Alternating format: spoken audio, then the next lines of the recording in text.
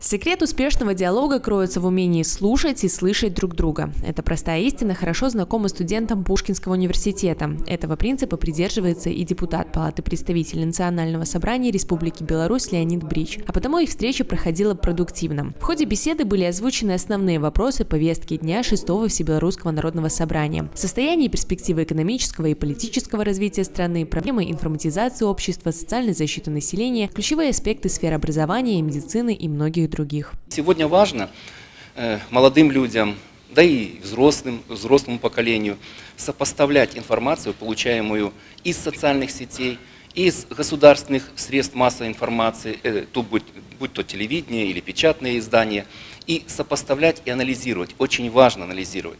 Я понимаю, что сегодня время быстро летит, и информации достаточно много. И понять, где правда, а где неправда, вот здесь вот важно.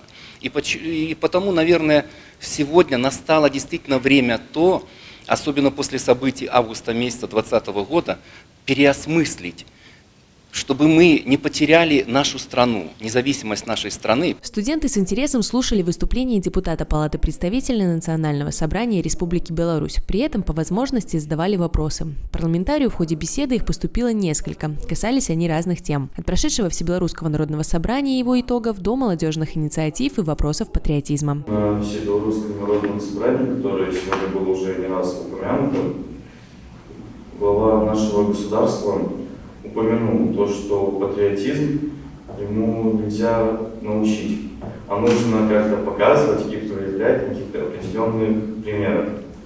И вот хотелось бы задать вам вопрос, а на каких определенных примерах это нужно делать? Как именно нам это показать и проявлять любовь свою искреннюю в родной земле?